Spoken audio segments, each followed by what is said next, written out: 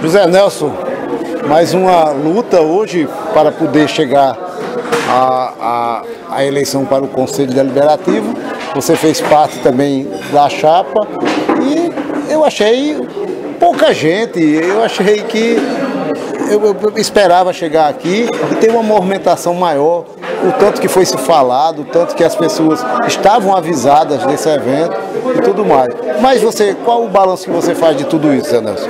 Olha, hoje foi uma noite positiva. Se você voltar três anos atrás, você vai ver é, que no final de 2012 a gente não teve a condição de fazer essa reunião. Fizemos uma reunião aí em cima, onde estava é, é, Zé Nelson, Vicente, Flávio e Arnaldo.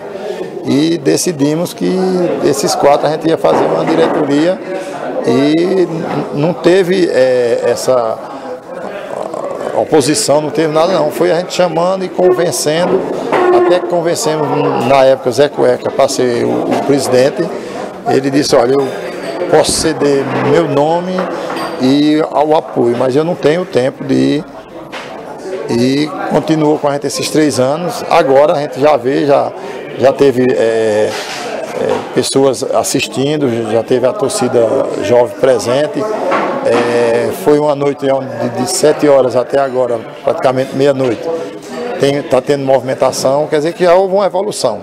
Sabemos das dificuldades, mas essa evolução ela vai, é natural, deixamos aí. Temos aí um, um, um cara que está é, estava pleiteando, mas não tinha condição pelo estatuto. Mas ele já está ciente que se pensa numa nova eleição de, do próximo triênio, ele tem que se manter como sócio, convocar pessoas a qual venham ajudar o Ipiranga e, consequentemente, ajudar ele a formar uma chapa como a gente está formando de um grupo para ter uma, uma, união maior e sim ser o presidente continuar é, dando aquele trabalho, aquela força para que o Ipiranga consiga pegar nossa, nossa história, nossa economia, que é a confecção, e propagá-la para todo o Brasil e todo mundo. O Nelson, a gente também sabe que o presidente disse que até terça-feira já é anunciado o presidente executivo. Você pode ser essa pessoa?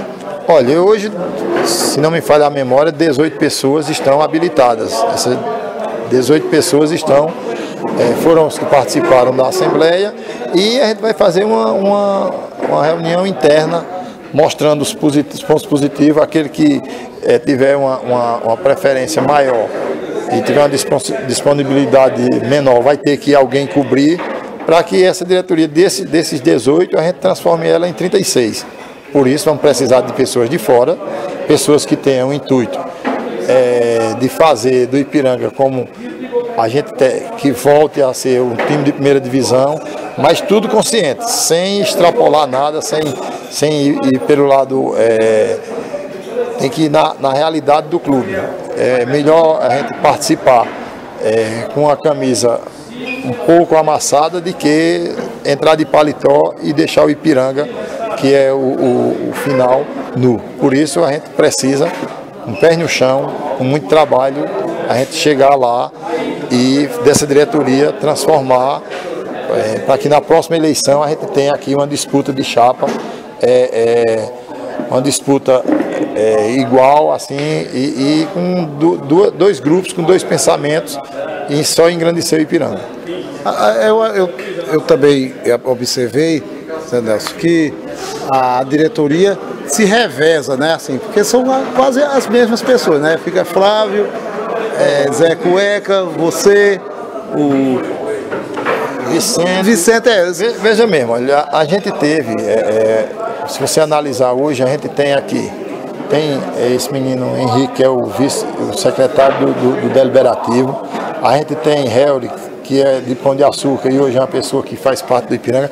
A gente está conseguindo agregar pessoas novas, é, com ideias novas, só que a gente precisa de respaldo também é, de, nossa, de nossa cidade. Nós temos aí grandes empresas, é, vou citar até, é, eu lembrei agora, uma, um Mercadão, é, existem empresas aqui que poderiam dar não é dar, é transformar algum recurso de, de, publicidades em nome do Ipiranga, como nós temos o exemplo da Rota do Mar, o exemplo do, do Moda Center, cheiro de pano, é, maquital, é, Jogoff, é, todas essas que já nos ajudaram, nós precisamos de novo da ajuda e mais outros, porque nós tínhamos uma grande ajuda que era o Todos com a Nota e o Todos com a Nota foi cortado. Sabemos da crise que passa o país, eh, os estados e os municípios e temos que nos adequar às despesas e conseguir também maiores recursos para que a gente não adianta você ir para um campeonato pernambucano ou, ou até só pela administração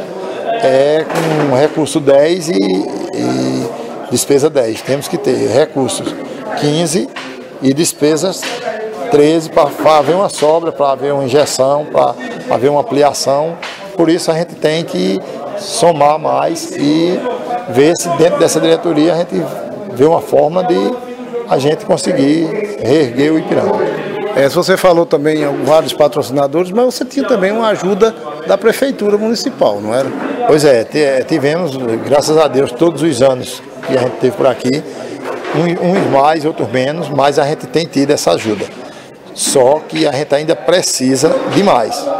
É, é, ajuda, toda ajuda que você dá, você dá de acordo com o que você pode. Isso aí nós sabemos.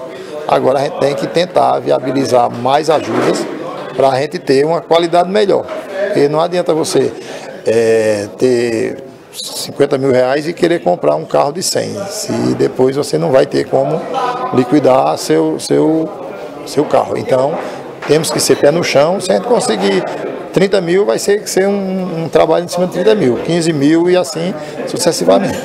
Então, Leandro, a gente, até terça-feira a gente espera já né, essa, esse resultado para a gente saber quem vai ser o presidente executivo e se for você ou outro daqui da, daquela lista de 18 nomes, a gente deseja boa sorte. Em, em nome dos 18 e, e, em nome do Ipiranga, eu peço a vocês da imprensa que é, pode ser que saia alguém que não agrade, mas se, se não agradar e não ajudarem, vai ser pior ainda. Eu acho que o intuito é, é o Ipiranga se é, estabilizar e se erguer.